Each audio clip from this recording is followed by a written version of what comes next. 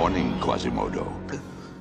Oh, good morning, Master. Dear boy, whomever are you talking to?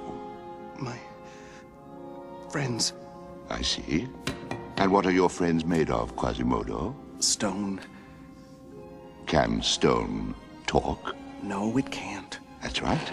You're a smart lad. Now, lunch.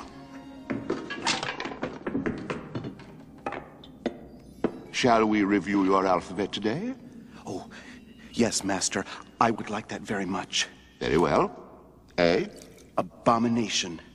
B, Blasphemy. C, C- contrition. D, Damnation. E. Eternal damnation. Good. F. Festival. Excuse me. Forgiveness. You said festival. No! You are thinking about going to the festival. It's just that you go every year. I am a public official. I must go. But I don't enjoy a moment.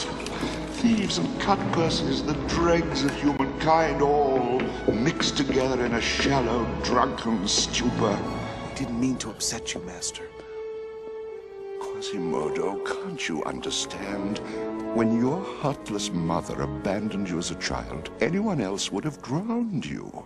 And this is my thanks for taking you in and raising you as my son? I'm sorry, sir.